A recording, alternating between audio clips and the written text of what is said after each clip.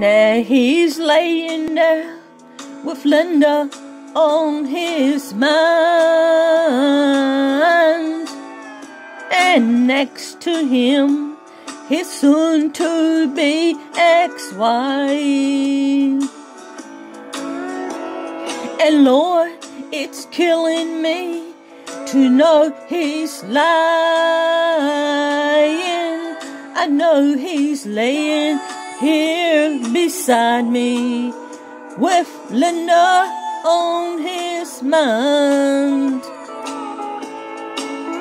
Yes, I know that he once loved me and he placed no one above me.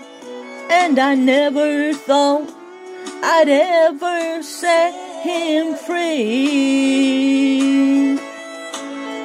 But it just wasn't in my plans.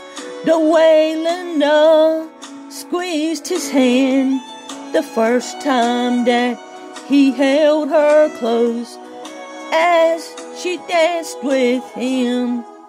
She said, I've loved you for a long time, but you're married to my sister, and I tried hard to never let it show. But my desire for you is stronger. I can't hide it any longer. And so I thought I'd better let you know. Now he's laying there with Linda on his mind.